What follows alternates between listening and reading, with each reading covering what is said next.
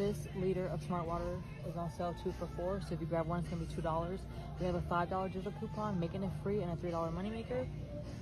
I'm gonna use five accounts today and do the sale five times. This cheese is WIC approved and buy one get one free.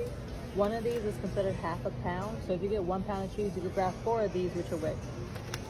These are two for seven or one for 350.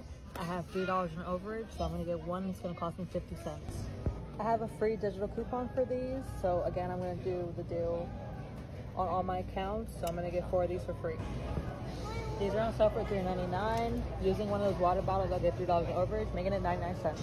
This is what my cart looks like. I have a free digital coupon for the Starry, and again, I'm using all my accounts. So all of these are gonna be free. Um, these are gonna be free with my digital coupons as well. This is all WIC, and then I'm getting $15 in overage for all these waters. So this is gonna be 50 cents.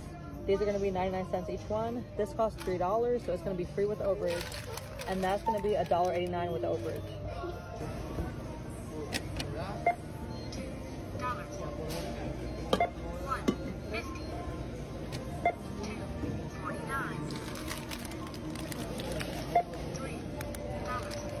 Okay, so my total is 948 right now. I'm gonna put my number in.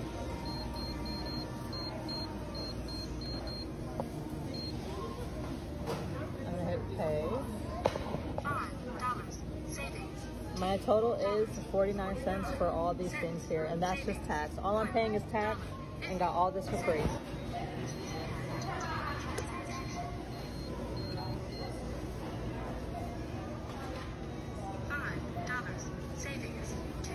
A dollar oh two for this one.